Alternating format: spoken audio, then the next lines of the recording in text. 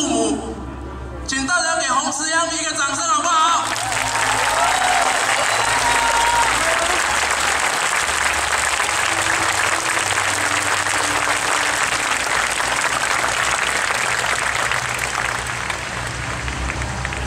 非常的感谢大家，在鸡蛋跟这个高墙之间，你们没有让这几颗子鸡蛋独飞，你们站在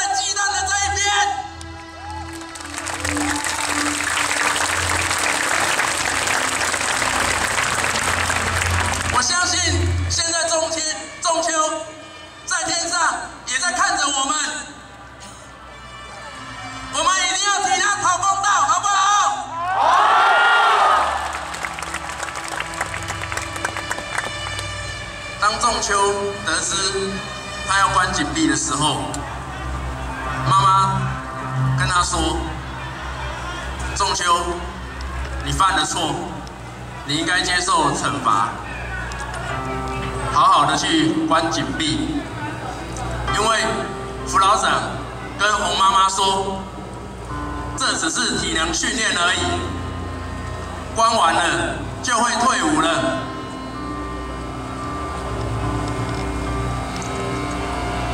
仲秋说：“妈妈，这几天我就不能跟你打电话了。”妈妈说：“没关系，我们等你平安退伍回来。”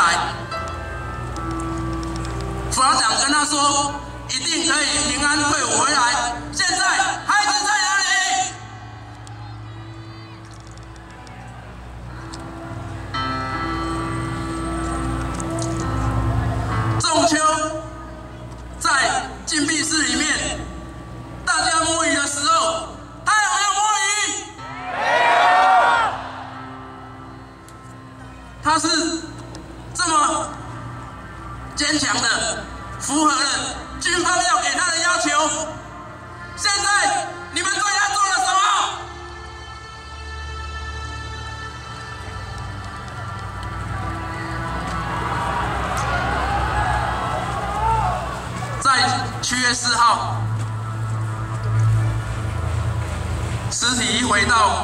中后里的时候，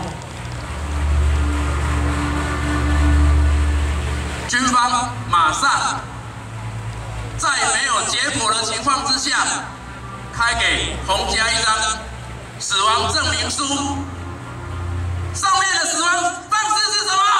意外，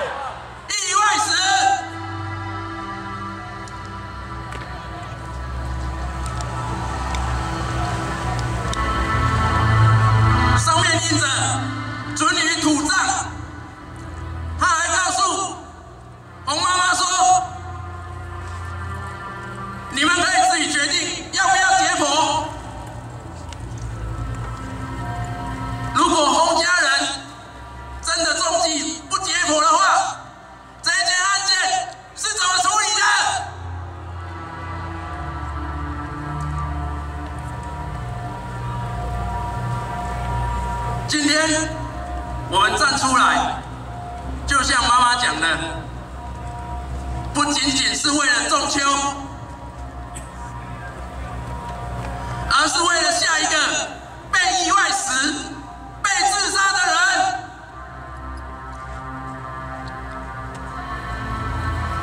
今天我们在军检署上提出了各项证据。非常努力的，希望能够找到真相，但是我们并没有看到他出现在起诉书里。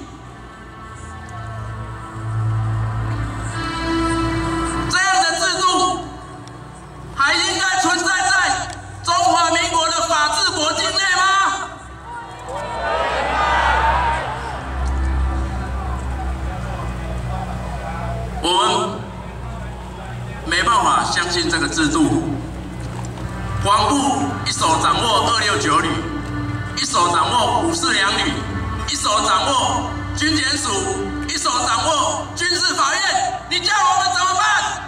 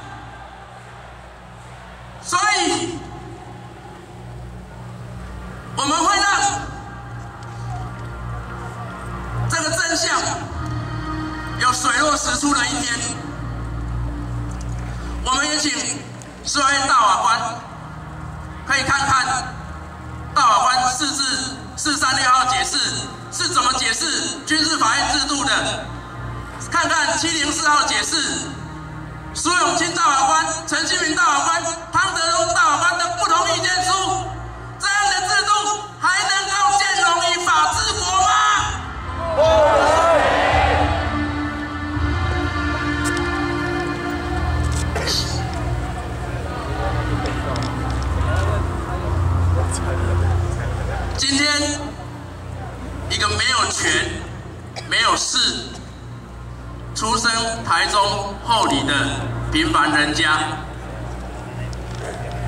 没有你们，是绝对不会走到这一步的。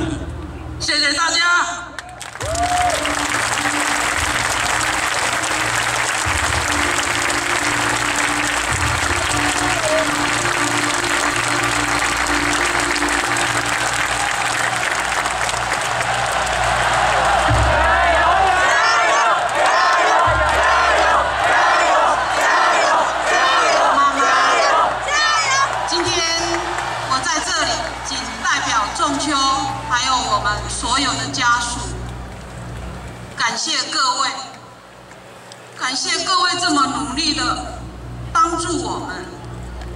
让仲秋能够在你们的帮助之下，能够有真相。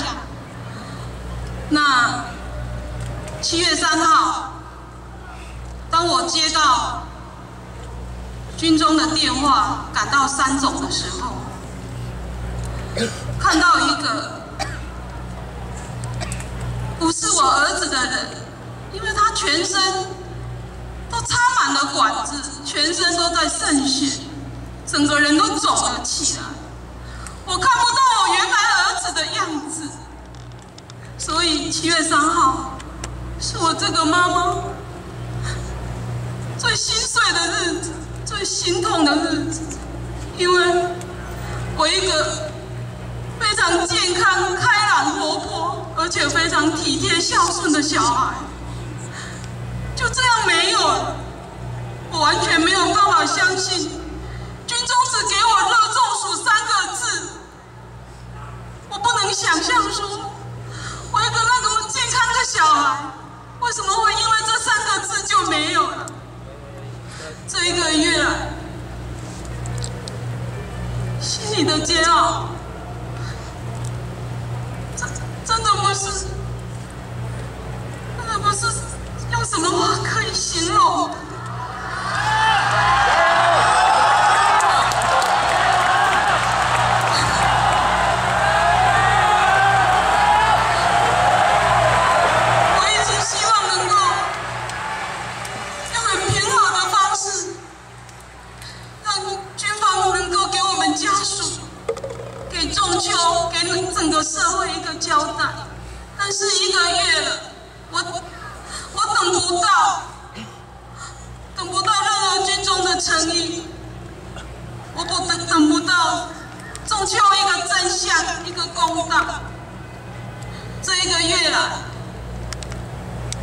一个月了，我跟爸爸没有没有办法做任何事，甚至什么事情都要依赖我女儿，都要依赖自己有这么重的担子，就完全放在一个女孩子的身上。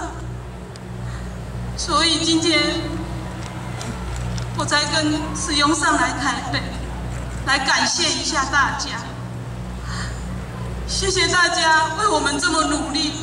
我想，我这个当妈妈的也应该要努力，也应该要勇敢。谢谢你们。